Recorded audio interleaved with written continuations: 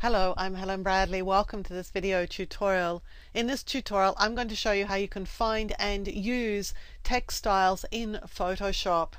In this video tutorial, we're going to have a look at text styles in Photoshop, and I'm going to show you where you can find text styles and download them, how to install them into Photoshop, and how to use them. I'm also going to show you how you can scale text styles so that the styles that you find look as good on your text as they did on the original images that you saw when you downloaded them. To get started styling text in Photoshop, you'll need some text to style. So I've just created a document here with a black background and some white sample text. And if I click on the text tool here, we'll see that this is Arial 72 points. To style this text, we can use a style, and to see the styles, we'll choose Window and then Styles. Now, most of these styles are styles that actually come shipped with Photoshop. I think there are a few that I've added myself. But basically, to apply a style to your text, you just click on the text layer and then just click the style. Now, some of these styles look great and some of them won't. And that's just fine because some of them will have been developed for other purposes, perhaps, than text. If you find one that you like, you can experiment to see if scaling the style adds to the effect. I'm going to right click this effects layer and click Scale Effects. And we can scale the effect by increasing it or decreasing it. And sometimes this will result in the effect looking better. That's probably particularly the case with styles that include some bevel and emboss. Now it's had no effect on that particular style, but let's try one that is more beveled. Let's go to scale and see if increasing or decreasing the scale has an effect, and you can see that it does.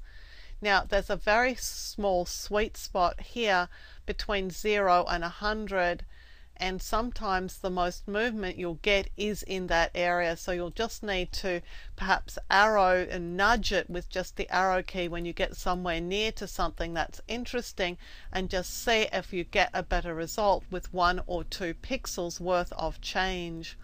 Now, this is an important concept to get used to because a lot of the styles that you'll find on the web might look really, really good on a website, but once you have a look at them in your own computer, you might think, well, that's not very good at all. And it's probably because you're trying to use them at the wrong size.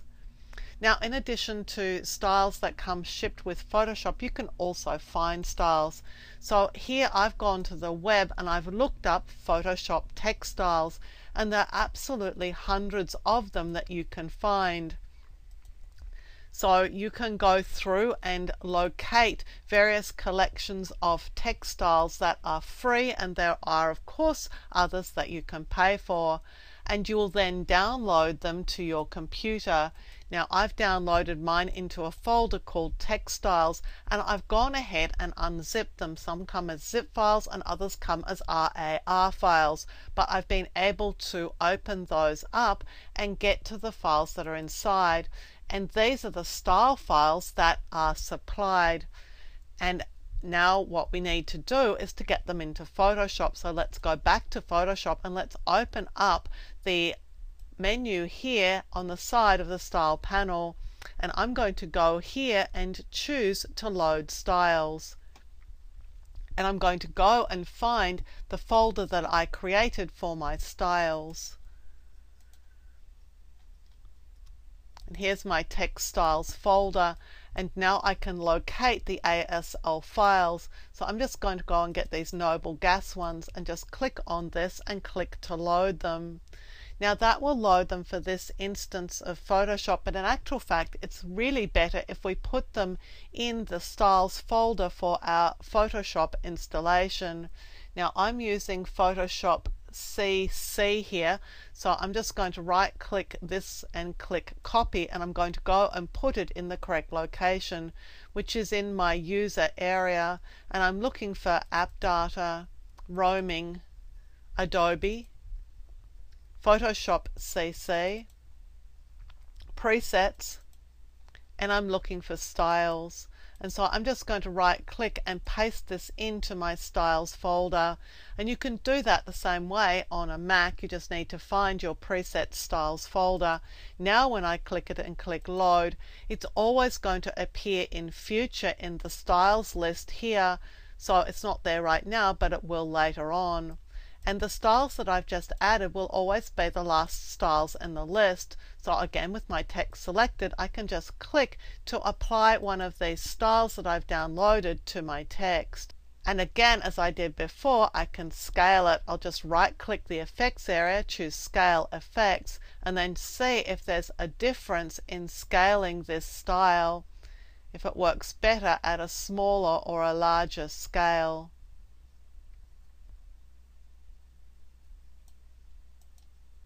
So you can now go and find various styles on the web, download them, install them into Photoshop, and then use them for your text. Now, because I've got a text layer here, this text is fully editable. So not only can I change the text, what it says, but I can also change the font. And you'll find that some styles look better with different fonts.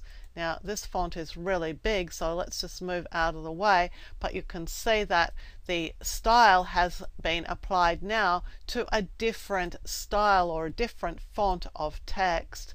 Let's go back here and see if we can find something that's a little bit more squashed up. Let's just try this font here.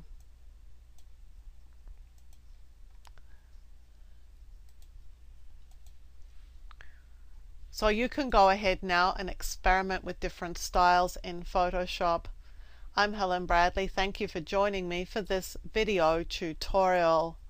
Look out for more video tutorials here on my YouTube channel and consider subscribing to my channel and you'll be alerted when new video tutorials are released. And visit my website at projectwoman.com for more tips, tricks, and tutorials on a range of applications including Illustrator, Lightroom, and Photoshop.